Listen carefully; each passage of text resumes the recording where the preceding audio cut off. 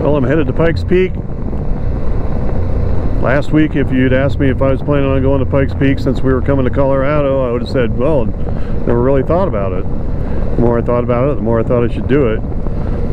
I got to get that sticker, so I'm headed to the summit. That's the Manitou Incline straight ahead there.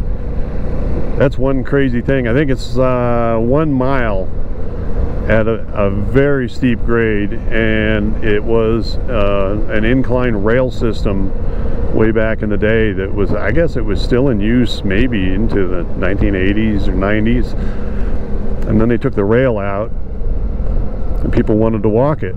So they tried to keep them from walking it and it didn't work very well so they made it a little bit safer. They put in some steps and things. And now it's a huge deal. Everybody likes to hike it. This is downtown Manitou Springs. Actually my first time here. We've been wanting to check it out. It's pretty cool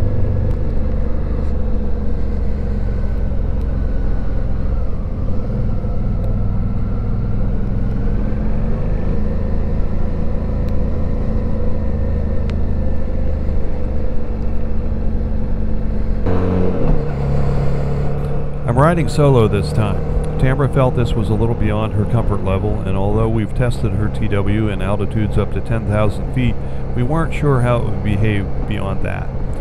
But she'll be arriving by truck shortly after me to meet me at the summit.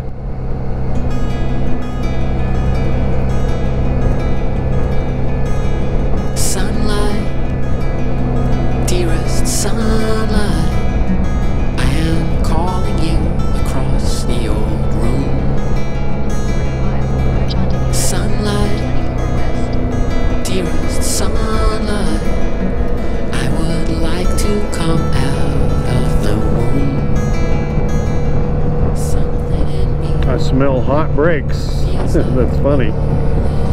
All the way down here. Going up.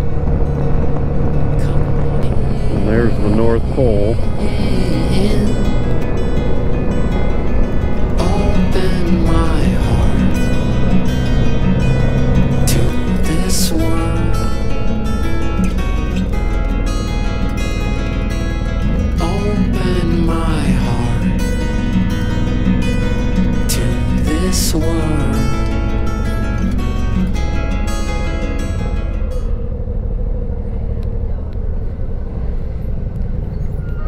hello good Good. Did you buy online? I did not So it's seventeen dollars. Okay. Go up. The winds are twenty-five to thirty miles an hour, so it is very uncomfortable up there. okay Are you okay with that? yep And a speed limit of twenty-five to thirty with no passing, or they'll send you back down. okay Where are you from? Pennsylvania Lots of Pennsylvanians today. Really? Thank you. Uh, we were we camped up on Rampart Range last night. No, night before. So we got a little comfortable with the wind and everything. Okay. Um, thirty-three degrees, roughly twenty-four right now with the wind still. Okay. It's warming up. Well, I brought some layers just in case. There you go, sir. All right, so you just enjoy your ride. Thank you. I smell a lot of hot brakes.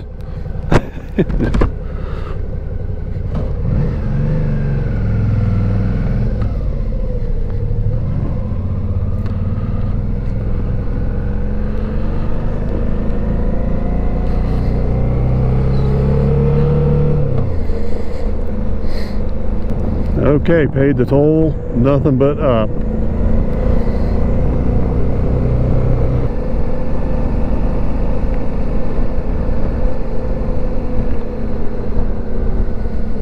Here's a view. Wow. The Pikes Peak Highway, constructed in 1915, is a 19 mile toll road that runs from Cascade to the 14,115 foot summit and is open for travel as weather permits. Due to environmental concerns regarding erosion and silting caused by the gravel surface, the City of Colorado Springs began paving the unpaved portion in 2002 and by 2011 the entire road was asphalt.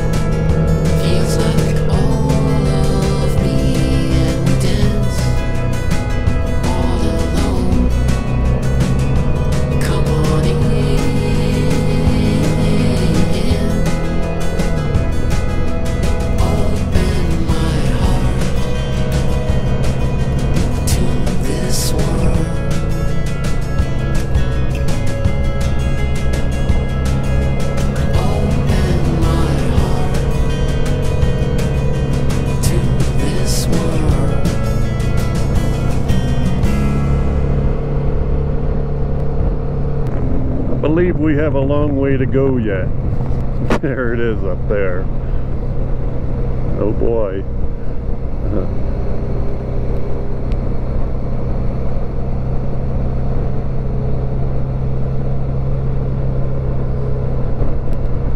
Bigfoot crossing. The sign said, my elevation right now is one mile below the summit. I have a mile to climb.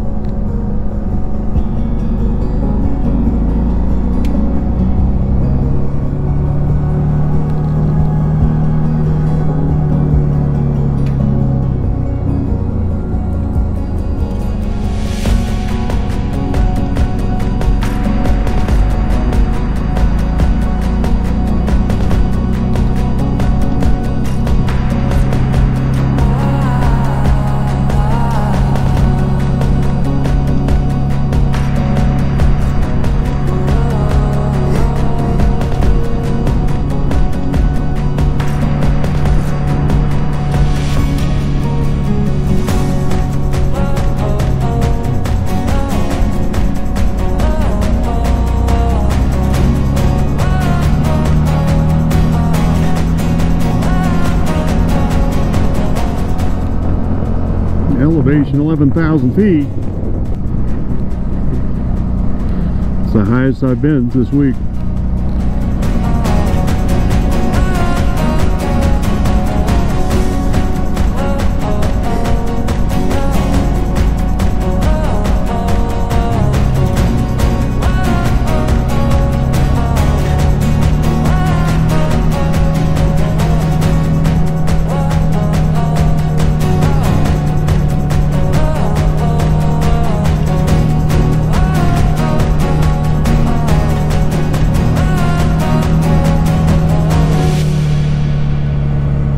Ears just popped.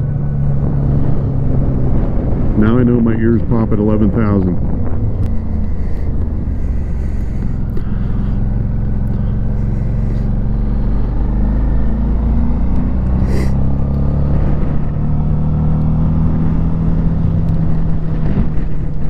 Oh, there goes my pass. Yeah, well.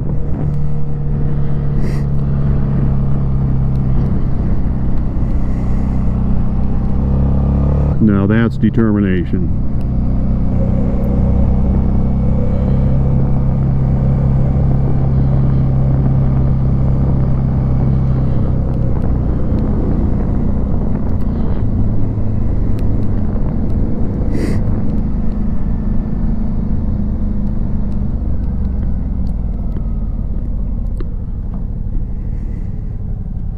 Well, onward and upward.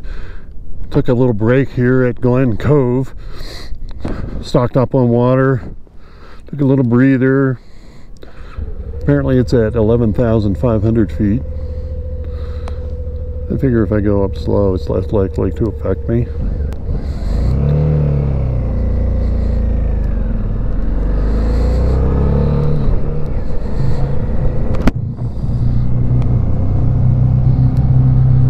Was a checkpoint down there for brakes. They actually take a temperature reading off your brakes, see if they're too hot to continue. I talked to a uh, guy on a bicycle down there. He said they're advising cyclists not to continue beyond this point because of the wind. I had checked uh, recent stats online and it said um, they had gotten some gusts overnight of like uh, 60. That's enough to blow you off the mountain. Wouldn't want to be too close to a ledge when that happens. Doing some climbing now.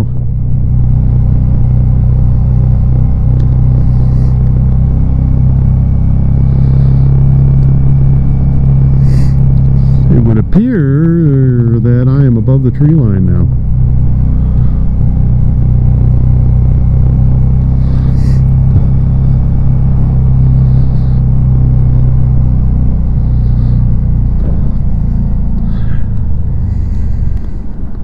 It's it's kind of funny. I think that uh, people are probably more affected by the uh, the elevation. And uh, honestly, I can say I can't look down. So uh, I think more people are affected by that than by uh, the altitude.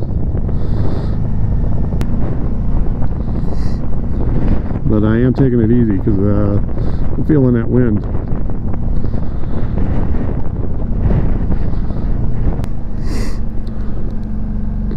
Got to gear down for this switchback. Well, this is a peg scraper.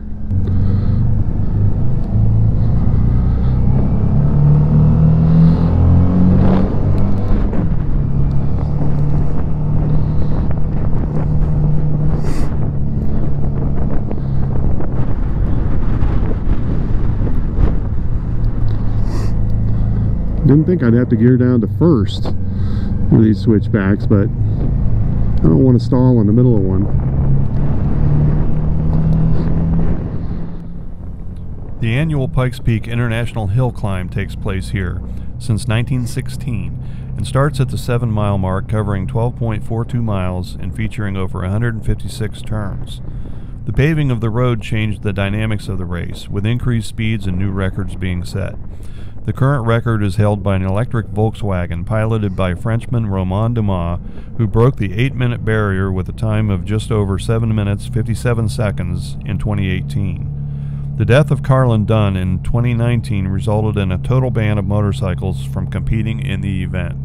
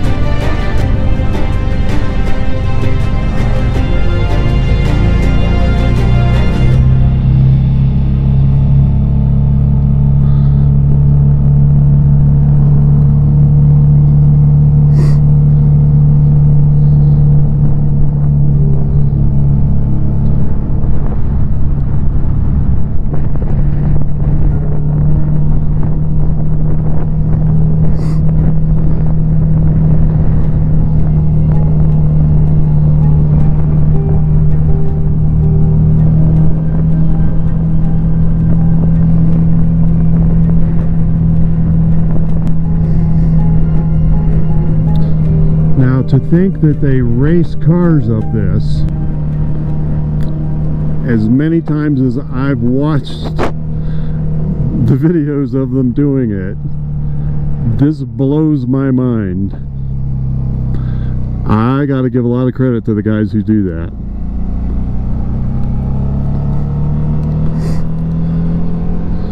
You can actually drive out onto the, the edge of the cliff there. That's wild.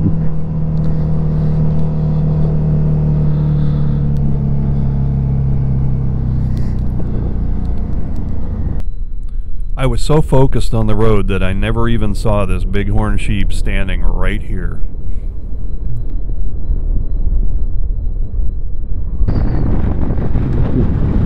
So I don't even want to park my bike. I, if I uh, if I were to do a photo op, I'd be afraid it would blow over. Here's the wind they warned us about. I'm feeling it. Be time for hand warmers.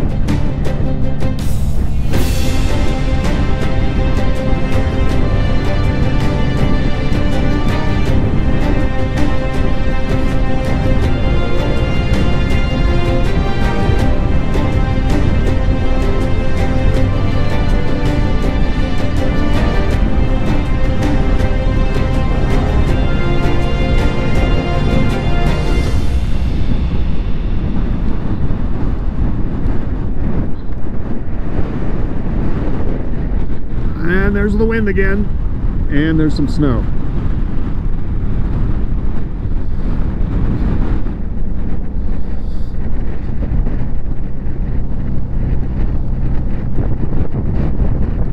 this is crazy. Oh man. Absolutely crazy. They had a marathon up here on Monday, uh, and we talked to somebody who was in it, and she said that there was three feet of snow that had fallen the night before. Couldn't tell from the looks of it now, but I guess that happens quickly. You can see that there has been some snow along the road anyway. Uh, I am not looking down.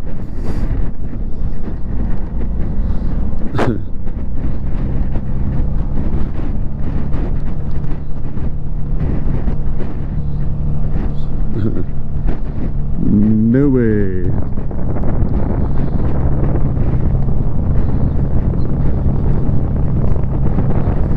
This could actually be the most terrifying thing I've ever done in my life. Not to sound like a wuss. But yeah, it's uh, a little frightening. It would be frightening even without the wind.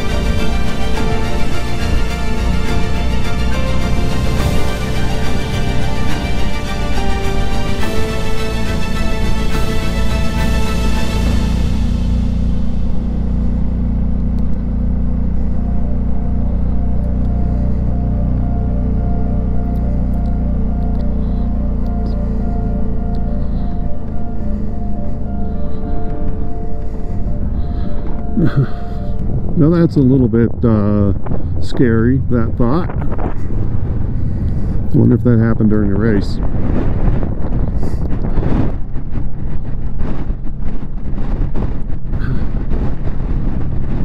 Yeah. I'm going to hunker down a little bit here, make myself a, a low target, and just uh, creep it. Uh, oh, thanks for those directions.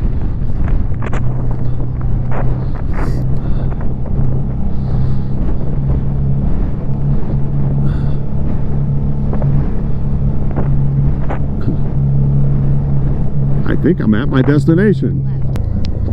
I do believe I've made it. Well, here we are.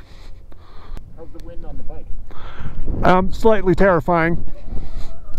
Only slightly. Gotta be a little worse. What's that? The switchbacks has to be a little worrisome. Yeah, yeah, that's the that's the terrifying part. And and you know, I'm thinking it through the whole way up, and I'm I'm asking myself, is this the ter- most terrifying thing you've ever done in your life? And I think it actually is. And I, I thought it would be even without the wind. So. The Manitou and Pikes Peak Cog Railway is the world's longest and the highest railroad in the Northern Hemisphere.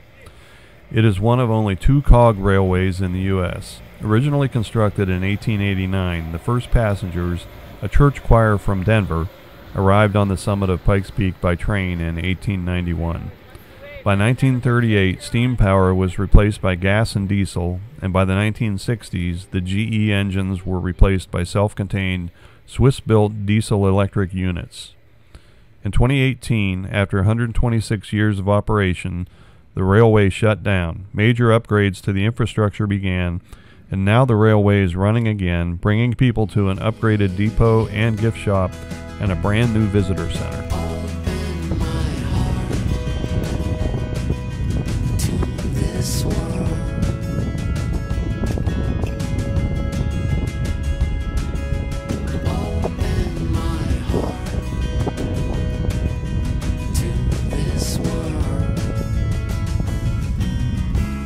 I got the sticker, but more important than that, I got the donut. And I got the girl.